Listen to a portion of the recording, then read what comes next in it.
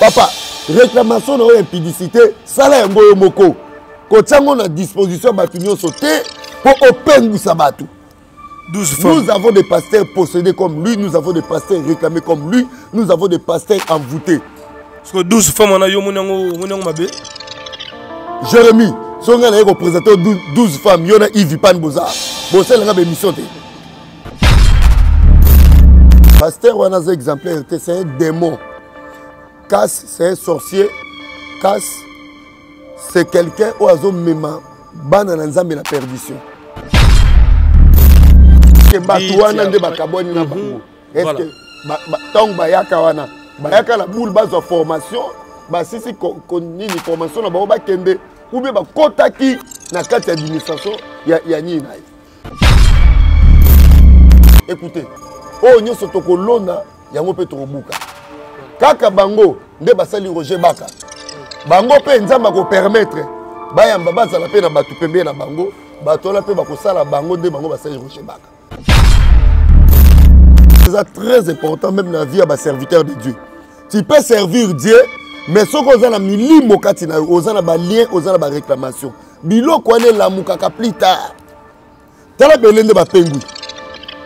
basalelaka nzambe me bazalaka balien kati na bango lien esalaka esalaka nini na via motu okoki kozala na balien de famille balien de coutume balien de, de, des ancêtres evandaka na bino okoki mpe koyamba jésus christ obandi mpe kosalela nzambe ekomaka ye moment donné biloko wana elamukaka na basala ya nzambe à côté d'un homme de Dieu, à côté d'un leader, mm. on a les oreilles, on a les yeux, mais on n'a pas la bouche. Oh, à côté des serviteurs de Dieu, zalaka na matoi, zala na miso, mais kozala monoko te. Soki oza pembe na mosala Nzambe, o oh, mosala Nzambe azosala, yo bandi kosala déjà mais échange de paroles. Koloba na mosala Nzambe, ozokata carrière na yo oke mosika te à cause ya pasi ozwa mwana no ya 18 ans obalisa na papa ya mokolo bongo ya 68 ans oyo esi akomeli akomi na sidi ya makasi me mwana oyo bazala problème okobota mpe oyo alinga mingi bafi ba vierge soki azwi yo apesi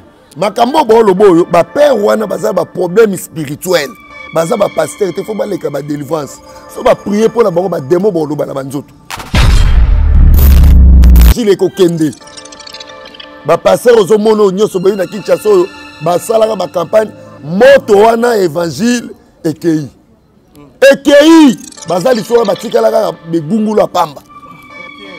batikala belilili ya pamba batikalaka mabumu minene makambo tu oyo bango basalaka na kanaan ekoma référence moi quand jete moko atoto atutaka tolo natondisaka martire kende otondisa martire yango lisusu tontima na bademo bwana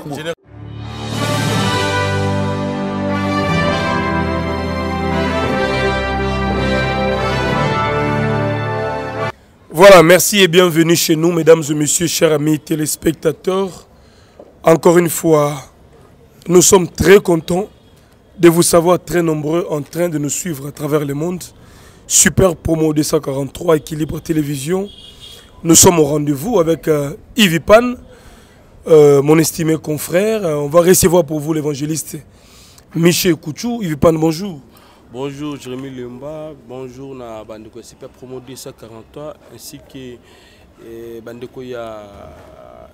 Equilibre Télévision, merci na Mizwa, waza na sima ya caméra, merci na bandeko nyonso tout, tosaka musala comme d'habitude avec l'évangéliste Michel Koutou. Merci Jérémy. Voilà, ça c'est bien. Alors l'homme de Dieu, bonjour. Bonjour Jérémy. To ouvrir émission par la prière papa. Seigneur, pambola émission lelo na sengi ngolu nezali ko na biso pambola bandeko nyonso bolanda biso na équilibre télévision na super promo grâce ya Nzambe ezali ko na bango Émission Lelo, Père, tika ete ezala béni au nom puissant de Jésus-Christ. Amen. Amen. Voilà, l'homme de Dieu, Boni Moussala Nzambé. Ouais, Moussala Ezako évolué très bien dans Gola Nzambé. Nzamba Zotia Loboko, tout ça peut être un programme, na biso, prière d'attaque, où Ezako évolué ti Lelo, chaque 5 heures, chaque 11 heures et puis chaque 22 heures, heure de Kinshasa. naobondela mpo na baka epuis bana nzambe ebele bazopambwama batémoignage ezozala ebele nga omoni eloko ya bien na mosala ya nzambe eza kolakisa bato losambo mpo prière na temps oyo eza lisusu eh, bile ya baserviteur de dieu ebele te mingi bapengwi mingi bakosambela lisusu te mingi bakoti na bamakiona bakoti na prophesie po il faut koyeba ke na domaine ya prophétie bandoki mpe baprofetizaka et surtout lokola toza na temps de la fin ba plusieurs serviteurs oyo boomona basorcier bakomi ebele bato bazosakola na bipoti ya mbwa moto atya bipoti ya mbwa mpo amona makambo ya bato bato mosusu baotya balolemo bamosusu baosala yango na baconnaissance diabolique mpo na koyeba makambo ya bato mais ngai nzambe atalisi nga lakisa bato lolenge ya kobondela donc yango nabengisi bana na nzambe bosabone na compte youtube na nga évangéliste kutu tv mpo borataka bapriere te otape na youtube évangéliste ekutu tv toza wana chaque 5 heures 11 heures epuis 22 heures heure de Kinshasa, une heure d'attaque avec Évangile Saint-Michel. Voilà, ça c'est très bien dit l'homme de Dieu. Le rôle au fond, euh, parenthèse à pasteur. J'aimerais quand même savoir, le lot toujours mon pasteur est belé, bazalaka na nguya à l'époque. Yeah. Années 80, 90, 2000, tina ba début à 2005 wana. Ba osa ba miracle authentique, ba prophétie à solo, ba osa ba plein, ba osa ba succès, maramanzambe ya bosolo. Mais qu'est-ce qui fait que na ba temps oyo, muto azalaki bien hier. lelo abeba akoma faux aperdre crédibilité na valeur lelo nesala bapaster azalaki faux azalaki vrai mais akomi lelo faux ezalaka nini problème eza d'abord manque ya délivrance il faut koyeba pour mieux servir l'éternel il faut être délivré ah. mais je te dis la vérité délivrance eza très important même na vie ya baserviteur de dieu tu peux servir dieu mais soki oza na milimo kati na yo oza na balien oza na baréclamation biloko wana elamukaka plus tard tala bele nde bapengwi basalelaka nzambe mais bazalaka balien kati na bango lien esalaka esalaka nini na vie ya motu okoki kozala na balien de famille balien de coutume balien de, de, des ancêtres evandaka na vino okoki mpe koyamba jésus christ obandi mpe kosalela nzambe ekomaka ye moment donné biloko wana elamukaka soki elamuki ekipaka te balien spirituel esambwisaka elongolaka mutu na volonté parfaite ya nzambe bato lokola baroi david david origine ya roi david tozomona liboso impudicité tomona inceste donc esika david abimi na alignement ya roi david tomoni impudicité tomoni se inceste tala sikoyo vie ya david bien ntango akomi roi david abandi koevolue eloi nini ekoremarke na vie ya david david akomaki na impidicité ya makasi akomaki na 500 femmes parce que malgré azalaki l'homme selon le cœur de dieu mais azalaki na balien oyo ya bacentre na ye ereklamaki ye pendant fonction na ye ntango azalaki roi na israel yango ozomona lelo baserviteur ebele boomona bakoti na bambriema baza non délivré basalelaka nzambe mais bazalaka délivré te yango biloko wana ntango elamukaka nde esambwisaka bato lien elongolaka motu na volonté parfaite ya nzambe david ti akóma na niveau ya koboma soda na ye mpo azwa mwasi na ye il faut ozala na bainspiration diabolique donc balien kati na motu ememaka motu na bachemin yango okobima na volonté ya nzambe totalement ekoki kosambwisa yo yango omona lelo baserviteur de dieu aza na église me azobima na basi ya bato aza na église lokoso ya mbongo aza na église vie de prière eza lisusu te aya na église donc casquette wana ya kibonzambe boyebaka kala actuellement eza lisusu te mpo eloko ezali kati na elamuki ebomi kibonzambe alors yango ozomona ebele tala buzoba kosala plein ple baple nyonso ezalaka ya nzambe te jérémie okoki kotikala bolumbu awa otondisa bato ozo comprendre kosala plein ngai na moko azoloba ngai nasala baplein mais wana c'est l'état passé baplein osalaka kala na oyo ya lelo okosala yango lisusu te hmm. baplein ya buzoba mpe ezali so okati bilamba awa jérémi okati bilamba awa otondisa bato wana mpo osali plein te eza plainte otondisa bato te baplein bawera mpe eza baplein bawera mpe eza baplein donc baplein oyo bato bakokumisa surtout baserviteur de dieu wana ngai nasalaka plein non okomi tokomi oconjugue ya l'imparfait okomi déjà passé simple mais nzambe aza nzambe ya temps présent sosola nanu vi na yo moko malamu otala eske vi na ngai nde naosalela nzambe eboyi eske ngai nalekaka nalukaka délivrance parce que eza eloko bato baignoraka david na bible asambwaki na mwasi ya bato akozi ya balie ya bacentre na ye meme gedeon gedeon oyo nzambe alobaka oza vaillant héros gedeon araverse botel de bale ya famille mais totala vie ya gedeon ozo comprendre mm. gedeon fin ya carrière na ye abota, na, abota 70 enfants 70 femmes donc biloko oyo otalisa ke bato batamboli na nzambe banegligeaka na koluka délivrance ya bavi na bango yango à la longue balie wana ekomi kolamuka ebandi koreklame bango na baparcours ezobimisa bango na, ba, na volonté parfaite ya nzambe yango ozomona babandaka bien basuki lelo na baproblème balie ekomema libanda ya nzambe ekomema na baerreur emema na buzoba emema oyo na impudicité ekosalisa eko biloko oyo oyo bato bayebaka oyo na yango te boyela kokondane ye te aza nde possédé aza lie aza na baréclamation nde tosala bango bo alors voilà euh, mizoa nous sommes en direct euh, l'homme de dieu na, dans cette même logique d'idée namoni pasteur moko azalaka branamiste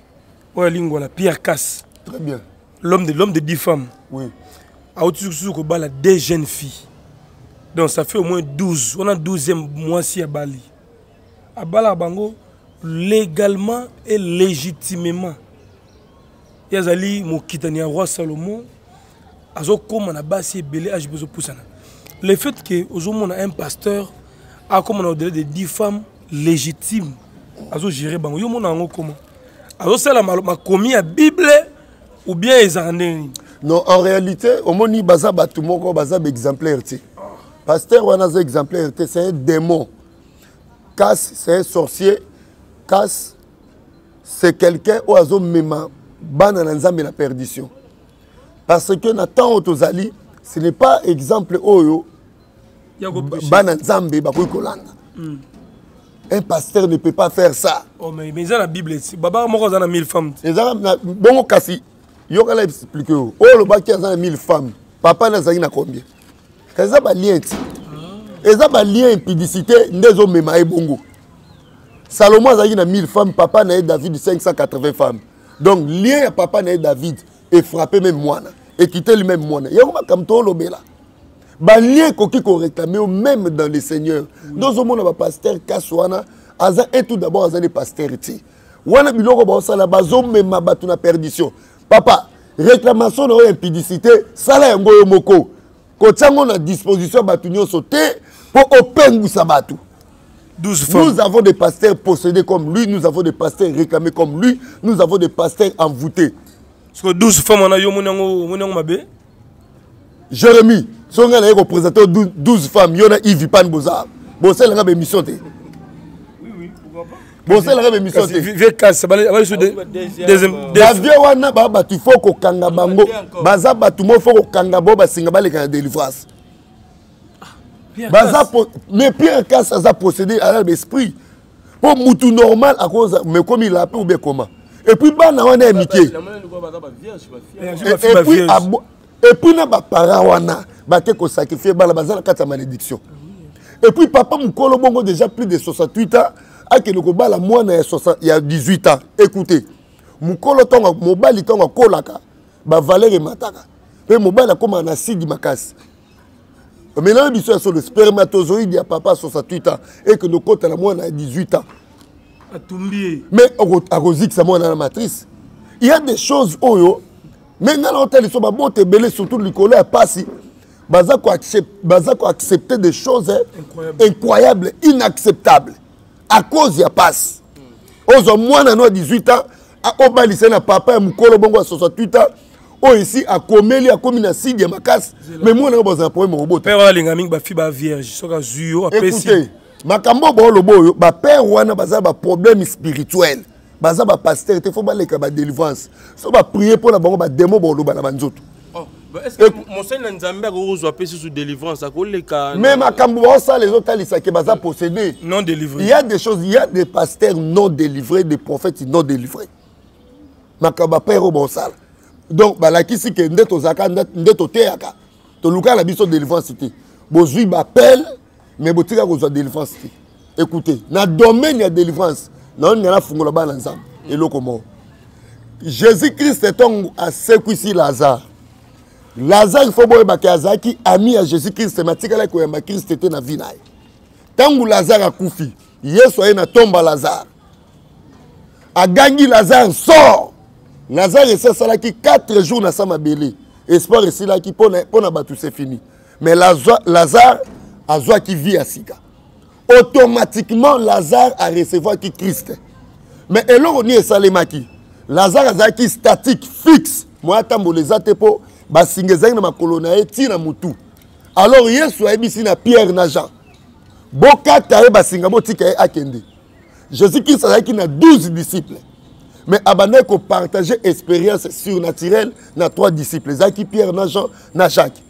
alors mpo bakata lazare basinga yesu alobaki na jean ayebisaki mpe na pierre parce que pierre azalaki disciple oyo nzambe kristo abandaki koutilize mingi na domaine ya nini ya puissance mpe ya délivrance jean azalaki moto ya révélation bazalaki bato ya domaine ya délivrance nde yesu ayebisaki bango bokata nani lazare basinga botika kende ya jean oyo oyamba jésus christ me basinga kati no bakata te basignation bakati te avec dans la suite des temps okosala parcours no na nzambe mais un moment donné okokoma réclame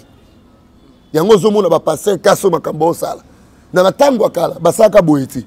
mais evandi ntango ewumeli na moma yango ekoki ese manifeste ezotalisa ke basalelaka nzambe mais bazalaka balien ya baimpidicité ya bafamille na bango evandaka na banzoto non seulement lui tous les passants baomona baosala babétise na baréseau sociaux baza na balien na banzoto na bango no bakata te ekosalisa bango ce sont des esprits eza nsima ya makambo oyo tolobaka bien tolanda yango bien oyebi motu nyonso abotami na famille oza na origine esika obimela ok mhm. oza na origine kote ya papa na yo kote ya mama na yo hmm. ngai mpe évangéliste michel naza awa nabimi na famille kote ya papa kote ya mama mais nga mpo nasalela nzambe nalukaka badelivrance ya balien natali façon famille na biso ezali na bino nde naosalela nzambe nazo se retrouve na biloko ya famille kati na ngai il faut nakata singa wana ntango na kati nzambe asali aujourd'hui naoloba makambo oyo naotatone te mpo nga moko na vivre expérience na yango na palpe yango mpo ntango ekoma un certain moment ou bien na age moko boye mokolo neti omona bapapa oyo olie buzoba ebima kibo nzambe nde kobakisama yango ozomona bapere oyo bana bato ya mike ozoloka bango ozozwa sexe na yo na bana oyo okoki kobota oyo bakoki kozala bakoko na yo nde yo osala nini ozobala epuis bazalaka baverset relative eh? davidi ntongo akomaka mokolo nayebi ke bakozanga te koluka babiloko davidi ntongo akoma mokolo alinga kufa babandaki kokeluka bana ya mike bavierge bazo ya pembe na ye po ba chauffaka ye ozo comprendre mm. donc je crois que ba père oyo bazo sala ba biloko moko na inspiration diabolique na ba lien za nango na nzoto po ba mema bana na nzambe na perdition mais ba délivrance obo bande ko sala la biso en plein heure ya ba campagne ya ba séminaire ekenda wapi evange tosisi mwa duta awa tokoti na septembre toyebi ke bapaster pisi ezalaki na bamwa oyo nde bino bavakanso nde moto bana nzambe bazoyamba seigneur comme sauveur aussi leur maître mais makambo yango ezalaka lisusu te yango nde bozomona te ke perdition ezokota mwa makasi papa jérémi lwemba papa ivi pani hmm. eloko nayebi so bapaster nyonso ya kinshasa boyebaka basalaka biloko wana na ntango tooloba bakoma réclame bakotisaka mbongo bakotaka na baguvernema babosanaka mission oyo nzambe apesaka bango bakoti na kimobulu kolinga basi ya bato kobebisa bana ya bato kodevianse bana bato kobima na basi ya bato mabala moto wana evangile ekokende bapaster ozomona oyo nyonso boyebi na kinshasa oyo basalaka bacampagne moto wana evangile ekei ekei baza lisolo batikala kaka begungulu ya pamba batikala belilili ya pamba batikalaka mabumu minene makambo tu oyo bango basalaka na kanaan ekoma référence moi quand j'étais moko atoto atutaka tolo natondisaka martyr kende otondisa martyr yango lisusu tontima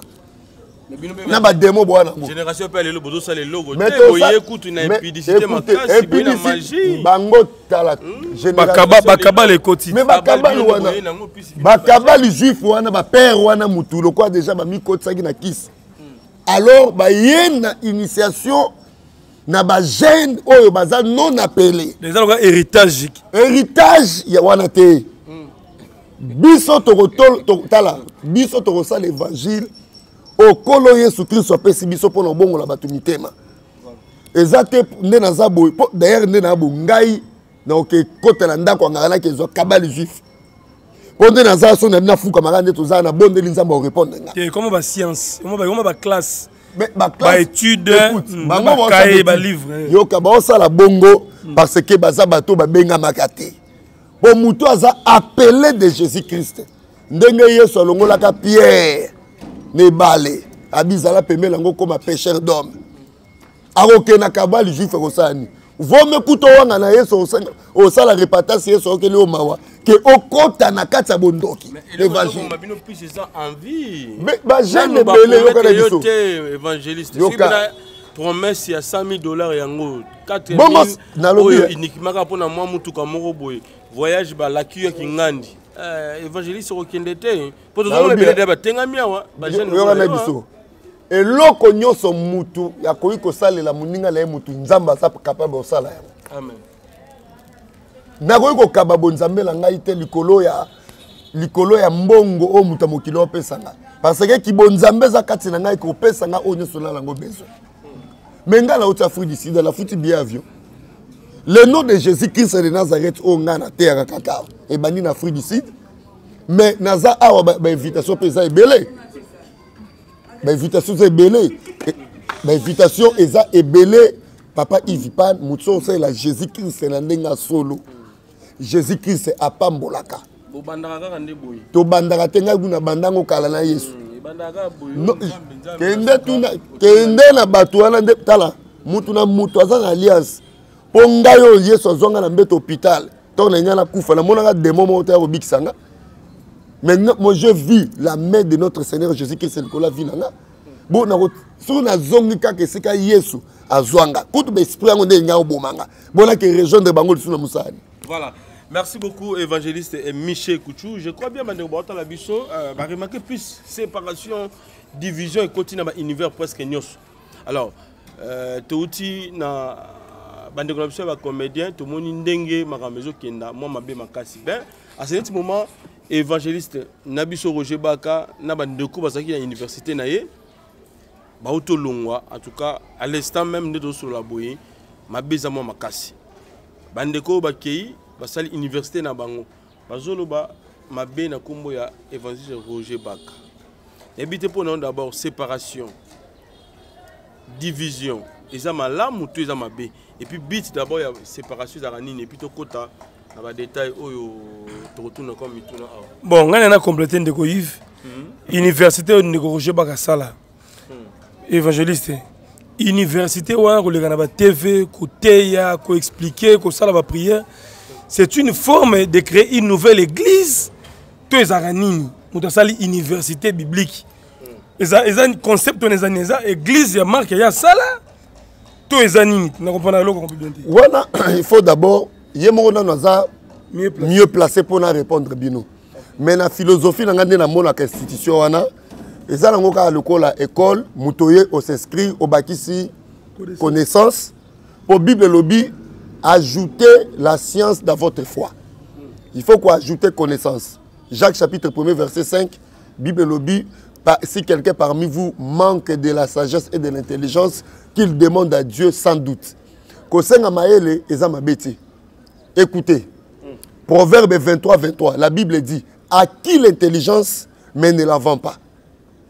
mayele somba yango mais yo koteka yango te proverbe 23 23 ozo comprendre yango omoni bible tokiti lisusu na ose chapitre 4 verset 6 la bible dit mon peuple périt parce que il manque de connaissance koya na université ya, ya, ya évangile se roger baka eza église te eza lokola centre de formation boke bozwi mwa connaissance ya moke oyo oyo nzambe atie kati na ye soki dele ekoki bokamati nzambe osala nini kende okotikala kuna te parce que eza église te donc eza lokola centre de formation koencadre bajeune serviteur même baserviteur mpe nyonso oyo ke aza na, na, na vraiment na mayele osa mosala nzambe te okoya no kuna mais eza eglise te mm. eza eglise te mm. soki osili formation na yo ocontinue na, na marche na na nzambe osa tozongi na eglise na yo mais ye roger baka akoforme bajeune est ce que azalaka pasteur mais koforme yo ne faut tuna ye eza question kootuna ye vraiment ye nde aza na mabilité opesa réponse na yango mm. mais ntango ozomona mosala osala babengaki évangéliste il faut koyeba ke toza na 5 ministère oyo ekomami na bible na ephésiens 4 verset 11 toza na pasteur prophète docteur évangéliste et puis euh, apôtre être un évangéliste eza te ke pasteur aleki évangéliste prophète donc te bino tu bokokani oyo aleki moninga aza te na 5 ministère eza ministère oyo nzambe apesi ye il peut encadrer il n'y a pas de problème so eza vocation nzambe ayebisi ye acadre bagene eza mabe ti hmm. eza mabe te jérémie connaissance baluka yango voilà hmm. connaissance baluka yango mais séparation nde natunaki ye wana est ce que bato wana nde bakabwani na mhm. bango est ce que ntango bayaka wana bayaka na boule bazwa formation basisi nini formation na bango bakende ou bien bakotaki na kati ya administration ya, ya nini na ye il faut koyeba voilà mais bandeko balobi bazalaka na ye souvent bamonaka kaka évangéliste ye moko azolia bango bazolia te egoïsme azokaba te yango moni bango balongwe jérémie lwemba papa mm. ivi pale mm. na makambo soki oza pembeni ya un homme de dieu moi biso toza bavisionnaire tozalaka mpe pembeni na basali ya nzambe à côté d'un homme de dieu à côté d'un leader mm. on a les oreilles on a les yeux mais on n'a pas la bouche oh, à côté des serviteurs de dieu zalaka na matoi zala na miso mais kozala monoko te soki oza pembeni na mosala ya nzambe oyo oh, mosala nzambe azosala yo obandi kosala deja ba échange de parole koloba ya mosala nzambe ozokata carrière na yo oke mosika te mpo nga évangéliste michel abima boye nazalaki mpe pembeni ya bagrand mais bazala na matoyi bazala na misu bagene lelo nde bazokomprendre biso nanu parle olingi oloba nini kozala na matoyi kozala na misu olingi koloba nini ntango mm. oza pembeni na mosala nzambe mm. il faut koyokaka ye komonaka oyo azosala kokapte ya malamu mm. ya mabe te mais kolobaka te ah. parce que meme na epoke ya kala mm. prophète elisa azalaki pembeni ya nani ya eli eli ntango alingi amata mm. elisa atikali na, na double portion e pourquoi mm. azalaki mwana botosi azalaki mwana botosi akangamaki na eli mpo mm. azwa double portion mais si ya une erreur Écoutez, erreur soki ezali meme moïse moïse nzambe apekisaki bango na désert bolinga baekolo mosusu te mais moïse akelinga éthiopienne bandeko na ye bamurmure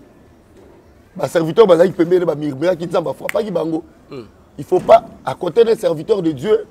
toi tu dois capter seulement ce qui est important pour toi mm. ba erreur na ye kokanga yango te kopratike yango te dictature non écoute eh, c'est pour eza ozobongisa natunaki yo soki erreur moko ezali mwana alingi abongisa papa ne donc lokola mwana olingi okorige papa eh, eh. yo est ce que nga namoni ozalaka bana no kitoko ebana no bakorigaka yo wana eza domaine spirituel mosali ya nzambe babondelaka mpo na ye omoni ene erreur kende sambela nzambe sunga papa na ngai mm. alongola ba erreur oyo nabetela bio lisolo moko eza na mama moko na états-unis ya mosala ya nzambe nkombo ne catherine coolman mm. nzambe abandaki koutilize makasi catherine coolman wana akenda kosala campagne na inde atondisi stade ya new, ya new delhi na epoka kala mm. osborne ntango ayoki bongo ye mpe ake kuna na inde na stade wana kaka asala campagne boye bato bakoti te bato moke aye kozonga états-unis aluki mama wana catherine kulman abi ndenge nini stade oyo otondisaki ngai nakoki te catherine kulman ayebisi ye nasalaki jeune na 30 jours mpo nasala manifestation campagne wana mais par après azalaki moto oyo nzambe abandaki koutilize puissamment mais ntango ayei kobima na mobali ya bato mm. grâce wana eye kokweya or catherine coolman abimisa déjà baserviteur de dieu bele ya mindele oyo biso toyebi bato lokola babeni ine Ma, catherine coolman aza mama ya molimo ya beni ine nayebi te so boyebi évangéliste beni ine mm. ayaka mpe campagne moko a na kinshasa na 2009 na mois de juin okay. mais eloko nini sikoyo esalemaki babeni ine bayoki ke mama na bango ya molimo akweisami na mobali ya bato basutenaki mama na bango ya molimo na bapriere ti nzambe catherine coolman aye kotika mobali ya bato asali repentance nzambe ayokeli ye mawa grace nde ekoki ntango azongeli kote alobi catherine coolman oyo boyebaka wana eza oyo ayebi lelo te voilà un homme de dieu un leader il faut kosoutenir ye mais soki ezalaki na mboka na biso ke mpaka moko akwei omona bato bakoma osalela yango bapiblisité mm. kaka bana oyo abimisi bobandi kokenda batv kobanda kotyola mais tala baexemple ya mindele moto lokola beni ine un évangéliste oyo aza na richesse oyo aza beni apambwama me ntango ayaki mama na molimo apengwi abondelaki mpo na ye aloba yango biso tobondela mpo na mama na biso mm. tii na ndenge nzambe atomboli ye lisusu mais eza ka ya lelo te komona ba jeune serviteur de dieu ebele baokende baosukaka na banzela mpo na nini parce que baza na monoko pemia na basala ya nzambe ntango oza à côté d'un homme de dieu ferme ta bouche Voilà. Ben, euh, juste un mot, na évangile Roger Baka, pour tout le monde, tu es que la série de. La série de mission et Salema, bi bande ko na be bakike basali université na bango. Bon, bande ko na bazaki ba envier. OK. bazalaki bavieux epuis basali mauvais départ so okabwani na motu kosala eloko te mpo oke otalisa moto wana mpe yo mpe oyebaki d'ailleurs un osala yango na contre cœur deux osala yango mpo prouve moto wana et c'est par là que dieu nzambe akotya loboko te soki bazalaki na idée ya kosala yango fe bakabwana en bonne uniforme na ndenge ya malamu boyokani na motu bokabwani na mutu na ndenge esengeli mais ntango obimi okabwani na mutu na barankine na badispute mpo okende osala eloko moko mpo prouve ye yoka nayebisa yo la bible dit tout se paye ici bas écoutez oyo nyonso tokolona yango mpe tokobuka kaka bango nde basali roger baka hmm. bango mpe nzambe akopermettre bayamba bazala mpe na bato pembeni na bango bato wana mpe bakosala bango nde bango basali roger baka conseil na bango conseil na kopesa bango barenonce babongisa bazalaki na ekole ngai na ndimi teke ezalaka église ezalaki ekole ekole de formation babakisi bazwi mpe mwa 1 plus so bokabo na moto wana abakisa bino mwa abakisaki 1 plus na bavi na bino bino bozongisele mabe te hmm. ce qui est important yango wana voilà merci beaucoup l'homme de dieu évangéliste michel kouchou bafamille ebele batali biso à travers les quatre coins du monde on vous signale que le numéro de notre invité est affiché au bas de vos écrans pour plus de communication, d'appels, bah, de bah, prière, de bah, questions, de suggestions. Remarque au l'homme de Dieu, évangéliste Michel Kouchou, Aza disponible à répondre. On vous aime beaucoup, mesdames et messieurs. Nous l'homme de Dieu, message à Souka, na ba chrétiens na ba fidèles baza na ba bitumba famille ba liens ba réclamations opesa bango message d'espoir entre temps je remercie tous nos abonnés ainsi que tous nos partenaires euh, voilà on est ensemble pour de vrai pesa numéro ya téléphone mpe message ya suka mpona bachrétien bon numéro na ngai téléphone ezali plus 243 9 98 99 36 59 nasengi na bala nzambe oyo bozalaka na besoin ya prière chaîne youtube na nga nkombo na yango évangéliste ekutu tv ekutu wana bobeta yango ekutsu bomoni foto na ngai na logo abonnez vous pourquoi naosala bongo naosala bongo mpo chaque 22 heures heure de kinshasa chaque 5 heures chaque 11 heures toza na une heure du temps ya prière de forte prière d'attaque oyo ezosauve bato ebele mama moko abengi ngai ayaki na problème ya goutte makolo moi bato balia misuni mingi mpasi ekei badelivrance eza ebele ezosalema mama na nga colette calo na londres ye mokuta abenga bi évangéliste prière echange histoire ya vie na ngai ya ndako na ngai ya des prières de prières baprière ezosalema ndeko bosabone massivement na compte youtube na nga évangéliste ekutu tv omoni foto na ngai osabone nimero na ngai ezali benga nga tout moment nazobondela mpo na baka ya bato ebele tout ce dernier temps namoni bato ebele babiki na bamaladi namoni bato ebele bavi na bango efungwami bablocage elongwe bafreinage elongwe yo mpe ndeko na ngai likambo oyo ezotungisa yo ata ozolala te na butu marie femme de nuit oyo ezotungisa yo ezozangisa kimia benga na kobondela mpo na yo jésus christ ne chou jamais nzambe na nga kosala nimero ezali plus 243 9 98 99 36 59 nakoprofite mpo kopesa mbote pa paster kati santos na canada na winnipeg wana ezalaka base na ngai mbote na florence agiso mbote mingi na mama colette calo depuis londres nzambe apambolo makasi merci vraiment na mama colette calo que dieu vous bénisse voilà merci à mimi ndume depuis l'allemagne merci